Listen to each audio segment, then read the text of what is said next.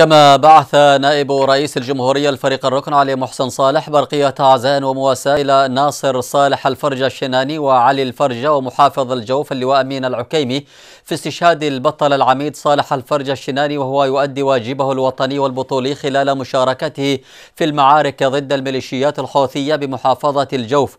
وأشاد نائب الرئيس بمناقب الشهيد وأدواره الوطنية في مواجهة مشروع الحوثيين الإرهابي منذ بداياته وخاض ومعه أبطال الجيش والأحرار من المقاومة والقبائل المعارك ضد الميليشيات الحوثية مسطرين بذلك أروع الأمثلة في التضحية والفداء. وعبر نائب الرئيس عن أصدق التعازي والمواساة لأسرة الشهيد ومحبي ورفاقه في الجيش والمقاومة. سائلا الله العلي القدير أن يتغمده بواسع رحمته ويسكنه فسيح جناته وأن يلهم أهله وذويه الصبر والسلوان.